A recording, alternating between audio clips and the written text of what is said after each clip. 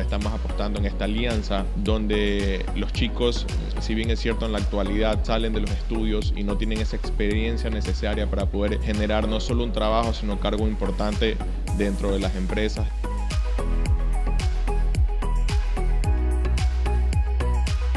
Él va a vivir una experiencia, me imagino, nueva, como lo explicaron ahí los chicos, algo nuevo y él va a aprender a saber desenvolverse más. Es como un galardón que se le están dando a ellos porque ellos se esfuerzan, son este, los mejores estudiantes y yo me sentí muy contenta cuando la directora me llamó que mi niña este, tiene una beca, entonces me sentí muy alegre.